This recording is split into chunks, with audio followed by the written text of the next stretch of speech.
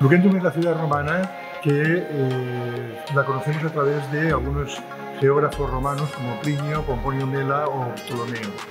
Se sitúa en un Tosal de Manises, que en valenciano significa en la colina de los tiestos cerámicos.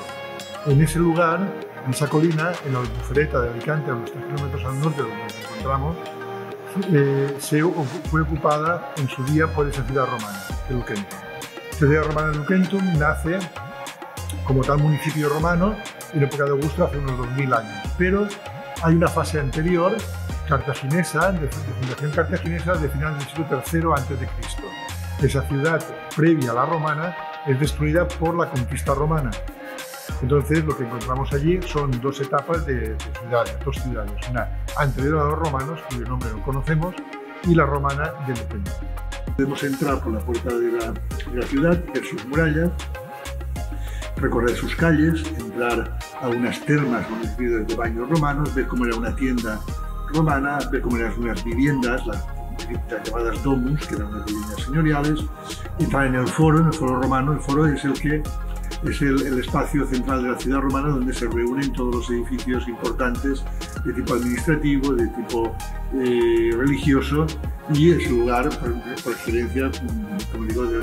central de la ciudad romana que además es el único que se conserva completo y asumible y entendible de la comunidad valenciana. La visita puede ser libre, uno puede entrar allí y visitar viviendo por su cuenta. Hay visitas guiadas que se concertan en el propio yacimiento a través del museo arqueológico y también tenemos otras actividades, por ejemplo, para escolares, pero sobre todo también tenemos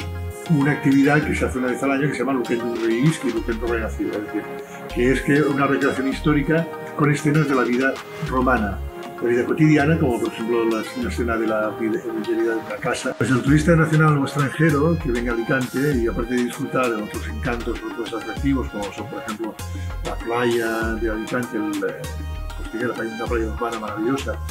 tiene un, un, monumento de primer orden, que es una ciudad romana, una ciudad romana en parte excavada y donde eh, le va a sorprender porque va a haber elementos que, eh, que le van a hacer en fin, conocer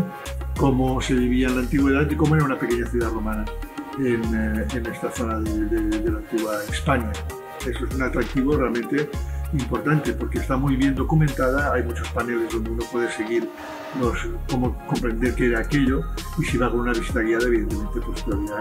más, eh, más eh, sabrá de lo que era de lo que era aquel lugar. es un agradecimiento realmente